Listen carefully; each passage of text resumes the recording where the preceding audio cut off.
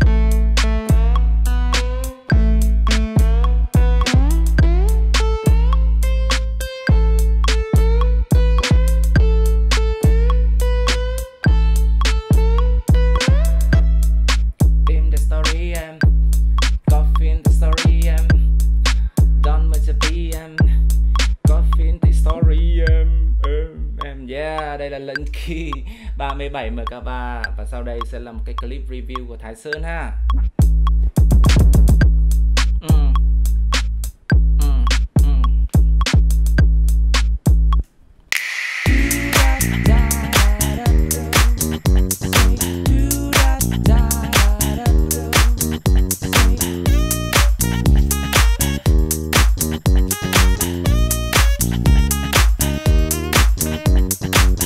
Chào tất cả các bạn đã quay trở lại với channel của Thái Sơn Big Boss Và đã rất lâu rồi Thái Sơn lại tiếp tục cái series review những cái sản phẩm hay ho cho tất cả các bạn đây.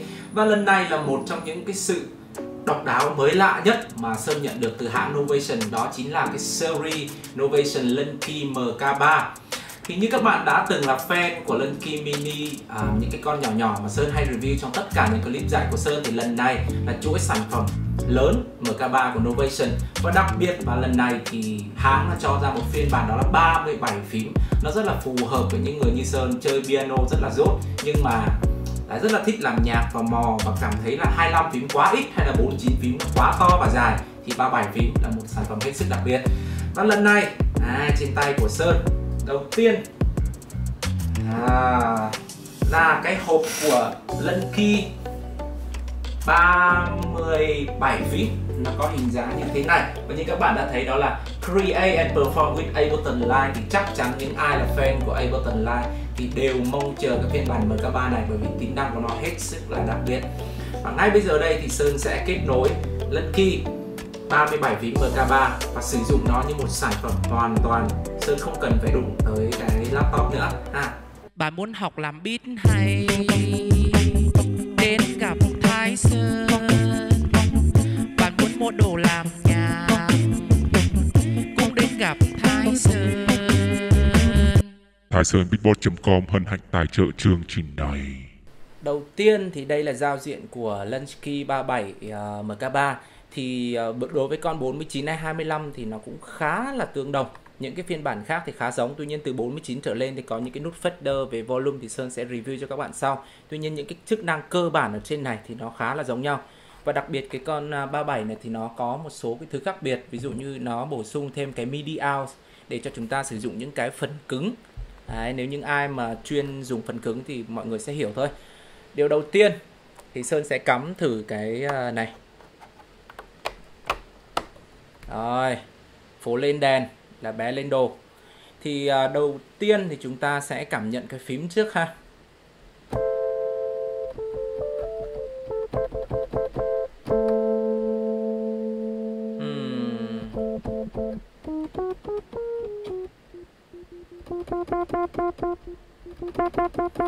Thì cái velocity của nó khá là tốt tức là cái độ mạnh nhẹ khi mà chúng ta gõ nó khá là tốt và nó có vẻ tốt hơn là phiên bản MK2 và cái tiếng khi mà mình gõ xuống nó cũng không nghe cái tiếng lệch cạch của cái ờ, phiên bản MK2 trước đó ha. Tiếp theo chúng ta sẽ test thử uh, Sơn sẽ chuyển sang trắc trống ha. Ok.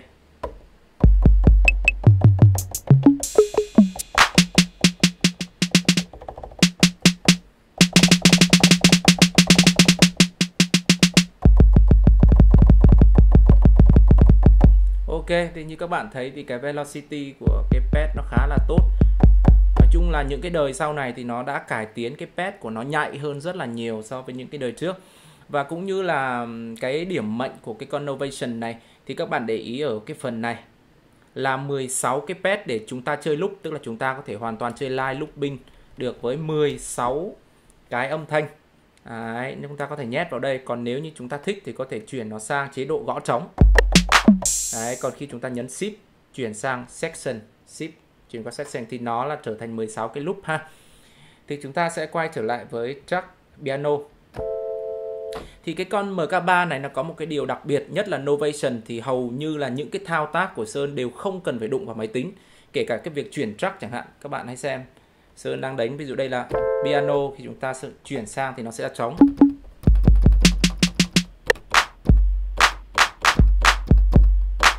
Đấy thì chúng ta hoàn toàn có thể chơi live looping được trên này.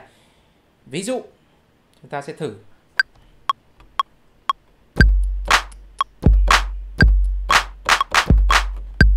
Đấy chúng ta đã có thêm một track rồi đúng không ạ?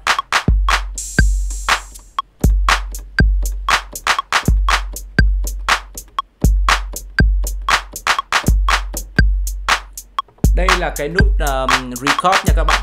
Thu âm lại ha. Đấy nhấn vào chúng ta để thu. Tắt đi là chúng ta sẽ không thu nữa. Đây là nút stop đây là nút play. Ok. À, à. đấy thì nó rất là tiện. Hoặc là giả sử như các bạn à, chơi mà muốn có cái metronome ấy tức là tiếng tắc tục tục tục thì đây chính là cái click này nó mới bổ sung vào trong Able, uh, Novation. Ví dụ khi mà chúng ta tắt cái này đi play nó đấy là nó không hề có cái tiếng cóc cục cục metronome mà khi chúng ta bật nó lên. Đấy và khi chúng ta chơi live looping thì cái việc có cái tiếng này thì hết sức quan trọng nha các bạn. Và có một cái điều đặc biệt nó bổ sung vào trong cái Novation này nó là nút undo. Undo tức là khi nếu mà chúng ta cảm thấy là cái âm vừa rồi chúng ta đánh bị sai chúng ta hoàn toàn có thể lùi lại. Đấy, ví dụ undo này lùi lại đây. Đấy nó không hề có cái tiếng ờ, uh, hi hat nữa như các bạn thấy đúng không ạ? Bây giờ sơn sẽ gõ lại cái hi hat đấy.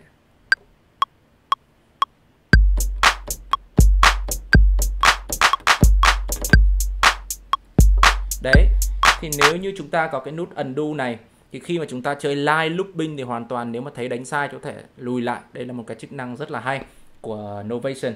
Tiếp theo, thì đó là cái nút capture MIDI này. Nếu như các bạn nào mà sử dụng phần mềm Ableton Live thì các bạn hoàn toàn có thể hiểu được cái nút capture này là ví dụ như khi mà chúng ta đánh một cái đoạn freestyle đánh gì đó mà muốn lấy lại cái đoạn nãy giờ thu âm lại thì chúng ta chỉ cần nhấn capture MIDI thì nó sẽ lưu lại những cái gì chúng ta vừa đánh ha.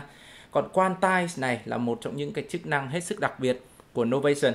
Tức là quantize này thì chúng ta sẽ làm tròn cái nhịp của nó. Ví dụ như khi các bạn để ý ở trên màn hình này khi mà Sơn à, bấm vào để xem từ bên trong những cái nhịp mà Sơn đánh có thể là tất cả mọi nút.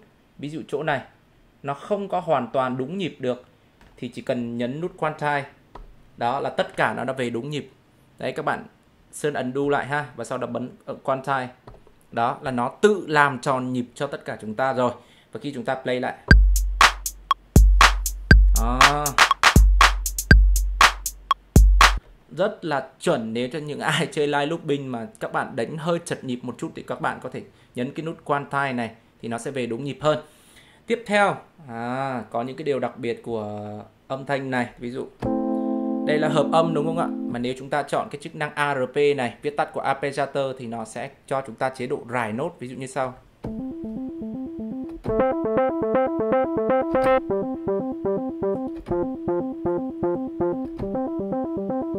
Nếu các bạn cảm giác là các bạn muốn đánh cái à, rải nốt này mà tự động tức là sau khi chúng ta thả tay nó vẫn còn thì các bạn nhấn shift AP đấy.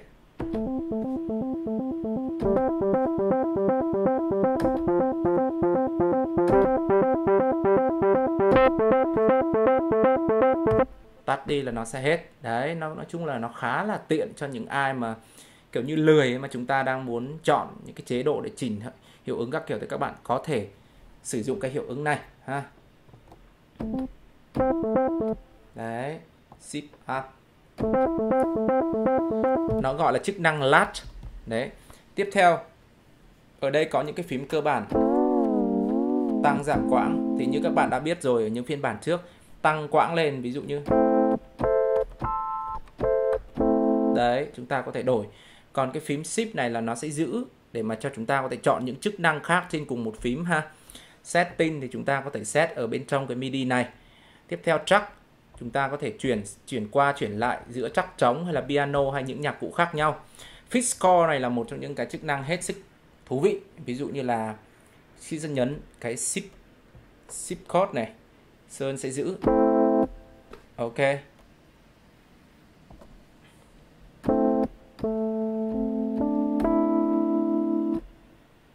Ở cái đoạn này là phải ấy thì fiscal score.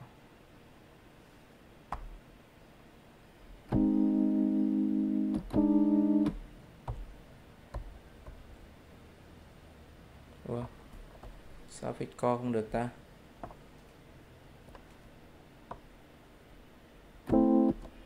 Ok lại tiếp tục ha.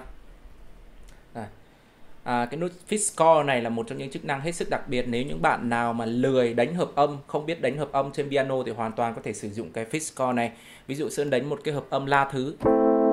Nó sẽ bao gồm ba nốt đó là nốt la nốt đô và nốt mi và nếu như mà chúng ta giữ cái này và nhấn nhấn fit core, chúng ta nhấn một lần, thì nó sẽ tự nhớ cho chúng ta đó là hợp âm thứ. Và sau này chúng ta chỉ cần đánh một nốt thôi. Thì tất cả những cái hợp âm tiếp theo thì nó sẽ đánh theo hợp âm thứ. Đó là một điều hết sức đặc biệt. Các bạn nên nhớ nhé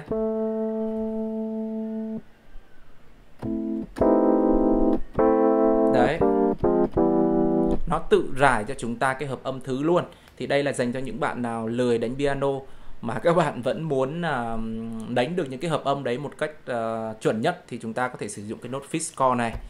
Ok tiếp theo là cái uh, nút ở đây. Thì nó sẽ là chọn cho chúng ta cái chức năng ở trên Ableton Live nó là stop hay là solo hay là mute. Nó rất là tiện. Giả sử như bây giờ Sơn sẽ tạo một cái cái đường loop nhé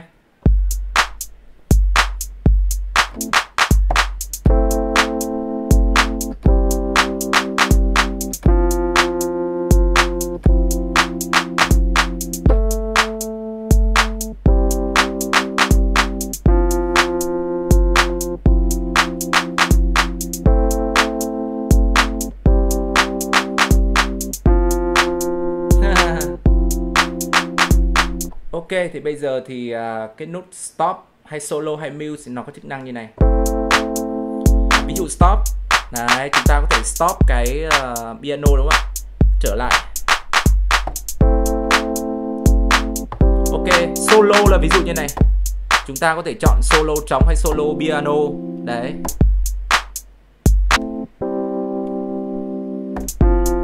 Ok. Chức năng cuối cùng là mute, tức là chúng ta có thể uh, chơi nó. Và sau đó chúng ta muốn cho cái âm nào im lặng.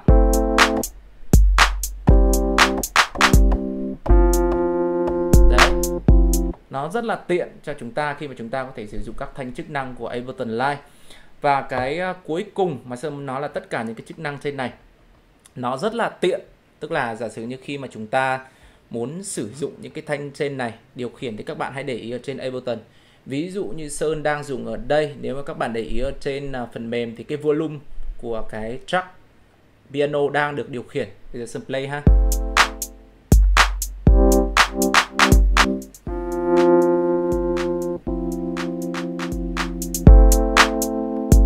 Đấy, thì cái chức năng của 8 cái track này à 8 cái núm vặn này thì nó sẽ là volume của 8 track. Nếu như các bạn muốn chuyển đổi nó, ví dụ như chúng ta sẽ chuyển sang device thả ra, zip device. Thì khi mà chúng ta vào từng âm thanh một thì các bạn sẽ thấy là nó có 8 cái giá trị ở trong Ableton. Tức là cái âm thanh này sẽ có tạo ra bằng 8 giá trị khác nhau, thì 8 cái núm vại này nó sẽ biến thành 8 giá trị đó. Ví dụ khi Sơn xoay cái bright play chẳng hạn.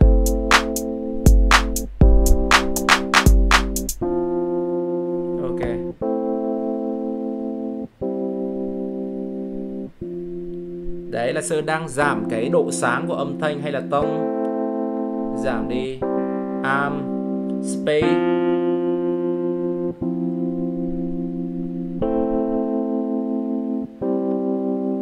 Attack release. Đấy, dài độ ngắn khi mà bắt đầu và cuối cùng của một âm thanh. Auto pen. Volume. Đấy hay là nếu như mà các bạn à, thích thì các bạn có thể nhấn shift và chuyển nó sang chế độ pen. Thì bây giờ 8 cái nút này sẽ trở thành trái phải của 8 track của chúng ta. Hay là chức năng sen là chúng ta có thể chọn nó để mà chọn cái chế độ sen là reverb. Đấy chúng ta có thể vặn đây là đại diện cho 8 cái reverb của 8 track nó rất là phù hợp cho tất cả những cái bạn nào mà các bạn lười sử dụng những cái tính năng đó ở trên Ableton Live. Thì tất cả những thứ đó đều nằm ở trong cái À, uh, MK3 này. Tuy nhiên có một vài cái chức năng mà Sơn cũng đang thắc mắc đó là cái nút 3 chấm này. Nút 3 chấm này là một trong những dấu chấm hỏi lớn. Hy vọng nó không phải là 3 chấm là đắm say 4 chấm là lé luôn. Ok các bạn. Các bạn về tìm hiểu giúp Sơn 3 chấm này là cái gì ha? Và vừa qua thì Sơn đã demo cho tất cả các bạn về những cái tính năng rất là hữu ích của Lân Key. 37 đại diện cho cái series Lân ờ, MK3 thì rất hy vọng tất cả các bạn nếu như các bạn có một cái câu hỏi nào các bạn muốn nghiên cứu thêm về uh, Novation về tất cả những sản phẩm MIDI controller các bạn có thể liên hệ với Thái Sơn Beatbox Store và chúng tôi sẽ hướng dẫn cho tất cả các bạn cụ thể và bán hàng uy tín đảm bảo tất cả mọi thứ nhất cho các bạn. Cảm ơn tất cả các bạn đã tham quan cái cái review này và chúc các bạn có được một cái sự lựa chọn phù hợp với lân key MK3 của Novation. Cảm ơn tất cả các bạn rất nhiều và đừng quên subscribe kênh của Thái Sơn ha.